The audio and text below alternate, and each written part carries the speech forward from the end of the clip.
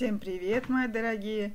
Я думаю, котлеты все любят, особенно мои внуки. Их очень любят, и я сейчас буду их готовить. Я взяла свинины, нарезала меленьким кубиком для мясорубки, взяла чеснока грамм 50, лука грамм 150-200. Тоже порезала его, подготовила для мясорубки таким крупным кубиком, чтобы прошло в мясорубке все, прокрутилось.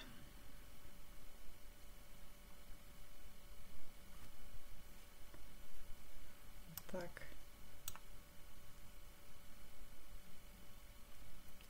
Пропускаю все через мясорубку. Потом беру хлеб белый, заливаю его молоком, разминаю, пропускаю тоже через мясорубку, солю,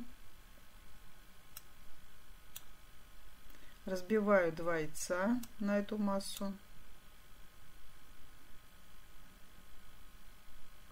Все хорошо перемешаю. Добавляю секретный ингредиент. Это столовая ложка крахмала для того, чтобы мясной сок из котлет не вытекал на противень, а оставался в котлетах.